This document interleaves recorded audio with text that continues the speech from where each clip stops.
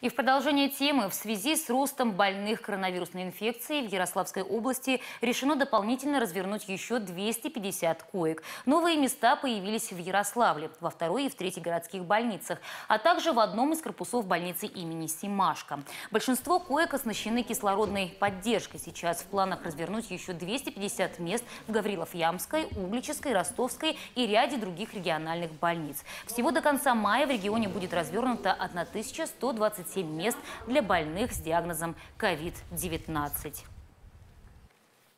Ситуация у нас, к сожалению, нарастает по заболеваемости. Мы это видим.